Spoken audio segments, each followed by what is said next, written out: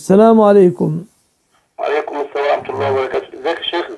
الحمد لله.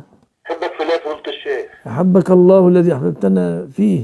ربنا يبارك في عمرك يا شيخنا. وفيك يا رب وفي عمرك.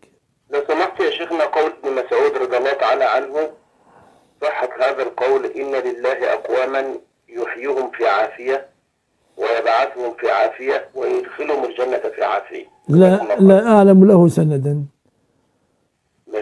ماشي يا